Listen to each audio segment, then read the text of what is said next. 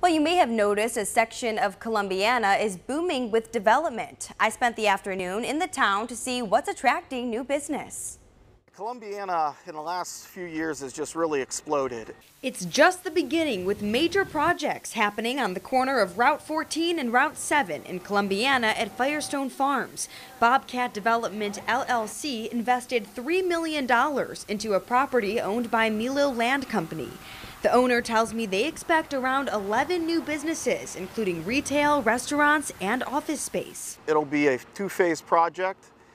Uh, first phase will be about a 6,500 square foot retail plaza that should be completed this fall. And then in the spring, we'll start on about a 9,000 square foot retail and office mixed use space. So far, Sweet Melissa's Good Eats is committed. And just around the corner, Salem Regional Medical Center sought permission to build an over 60,000 square foot facility at the northeast corner. You know, you imagine uh, multi-floor uh, development is going to have uh, a lot of services in it, you know, 60,000 square foot. So we look to see and learn more about that later this year. And in just a couple weeks, a brand new Mexican restaurant opening. You'll have to go in just to see the artwork. The, um, there's, there's an artist came in and did a lot of uh, sculpting and painting, and it's pretty incredible what he's done.